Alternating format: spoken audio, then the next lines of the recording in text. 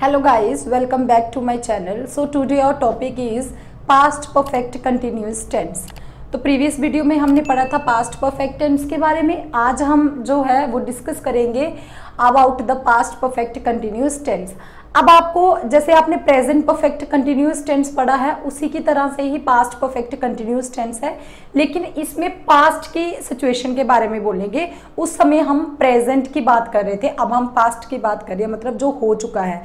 तो perfect continuous past perfect continuous tense वो tense होता है जब हम आ, कोई एक्शन जो है वो पास्ट में ये हमें बताता है कि को, कोई एक्शन पास्ट में कितनी देर तक कंटिन्यू रहा है ठीक है?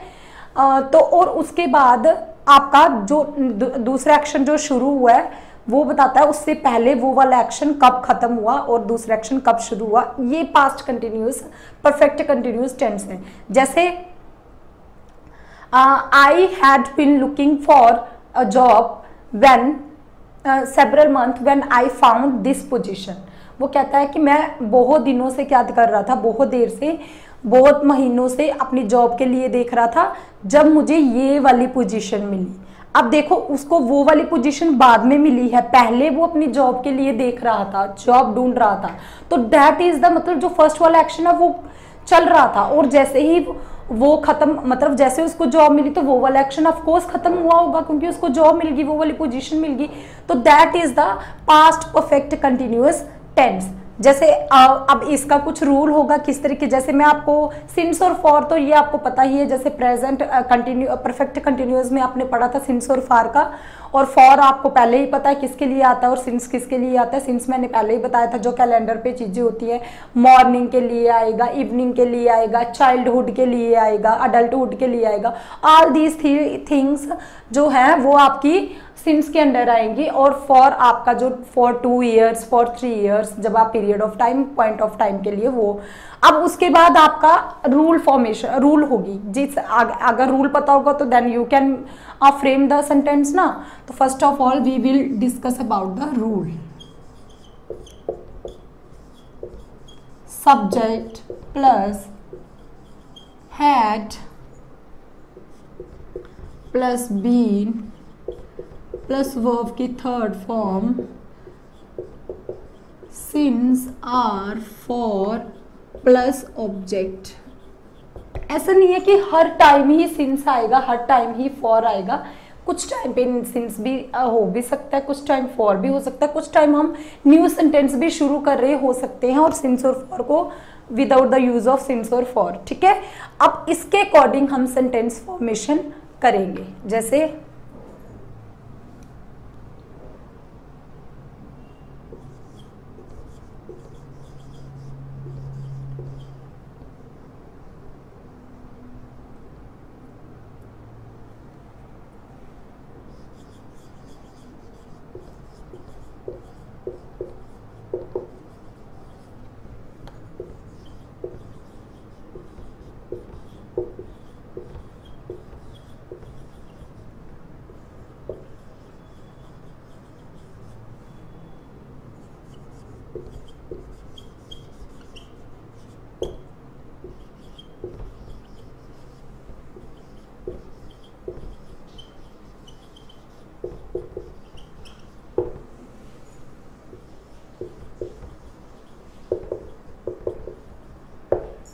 ओके? वो कह रहा है I had been looking for a job for several months when I found this position अब देखिए आप सेंटेंस सब्जेक्ट आई हो गया। And had plus been that is the had is the helping verb और बीन यहाँ पे we have to mention the been and looking is the oh sorry this one is the first form of verb plus I N G और plus आपका sincere form looking. Look is the first form of the verb plus ing, okay? Then for a job, for. अब ये वाला for कौन सा है? वो जो ऊपर सिंस और फॉर फॉर सेबरल मंथ अब मंथ के लिए क्या आएगा? फॉर आएगा. When I found this position this is the आपको ये वाली चीज़ कब मिली? जब आप ये काम कर रहे थे. पहले ही आप जॉब को ढूंढ रहे थे then you find this position तब आपको वो वाली पोजिशन मिली। तो आप रिलेट कर सकते हैं ना, किस तरीके से कंडीशंस हो रही हैं। आपको कंडीशन प्रोवाइड है मैंने पास परफेक्ट में भी आपको बताया था कि आपकी कंडीशंस होती हैं। जैसे my father had finished his work when I came जब मैं आया तो मेरे फादर ने अपना काम खत्म कर चुके थे। तो that is also the conditions तो इस सेंटेंसेज में जो है, वो आपको कंडीशंस मिलेंगी और उसके अकॉर्डिंग आपको फिल करना है। अब मैं विदाउट आपको कंडीशन के भी बताऊँगी।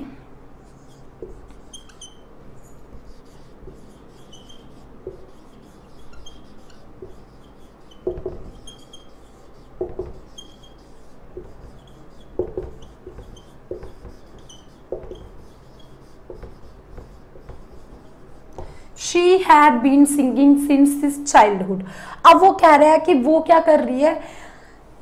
गाना गा रही है चाइल्डहुड से ही। मतलब जब वो बच्ची थी, तब से ही उसने गाना शुरू किया और तब से ही वो सिंगिंग कर रही है। तो ठीक है, ये क्या है? आपकी कर रही थी। तब से ही वो सिंगिंग कर रही थी सिंस चाइल्डहुड से। तो अब मे भी आगे कोई कंडीशंस हो, मैं आपको इतना सा सेंटेंस इसलिए बता रही हूँ, क्योंकि मैं ये बता रही हूँ कि आप इतनी सी भी बात बोलते हैं, हो सकता है पहले कोई कंडीशन हो, बाद में कोई कंडीशन हो that depends on you okay तो ये आपका क्या है? पास्ट परफेक्ट कंटिन्यूस टेंस अब इसका कुछ आपको इंटेरोगेटिव भी बनेगा, जैसे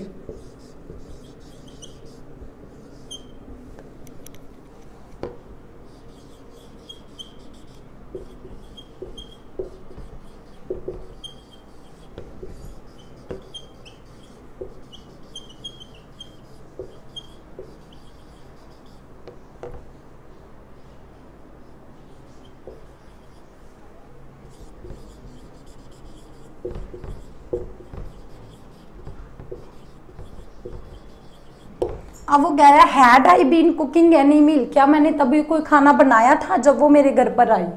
ठीक है? वो मेरे घर पर आई जा पैसे लिखते हो I had been cooking any meal मैंने कोई खाना बनाया था जब वो मेरे घर पर आई थी।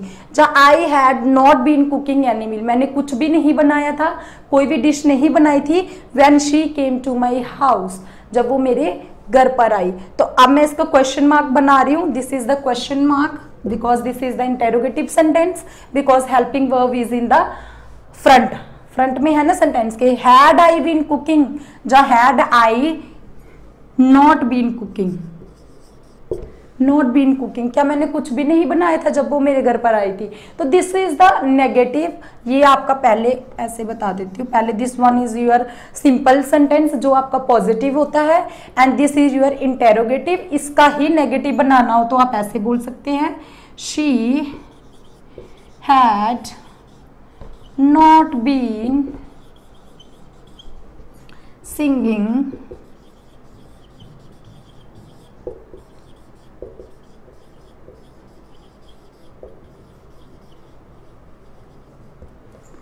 ठीक है? वो जो थी वो चाइल्डहुड से ही गाना नहीं गा रही थी। तो this one is the negative sentence अब आपके उसको अगर इंटेरोगेटिव नेगेटिव बनाना है तो हैड बाहर निकाल दीजिए। This is the interrogative and negative one तो these type of the these are the four sub types of the past perfect continuous tense अब आपका present is already finished and this is your past tense this is finished and next is the future tense अब future में वो चीज़ें होंगी जो हम आगे करेंगे.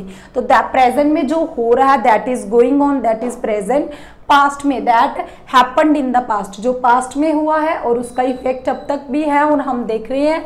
एंड अब फ्यूचर आएगा जो हम करेंगे. मे बी कोई भी बात जो हम बोलते हैं कि कल हम जहाँ, वहाँ जाएँगे, ये करेंगे, वो करेंगे this one will come in under the future tense तो these are the this is the present perfect continuous tense this one is the rule and this is the simple in interrogative and negative sentence I hope you all understand past perfect continuous tense if you have any query तो you can comment in the comment box. I will solve your problem.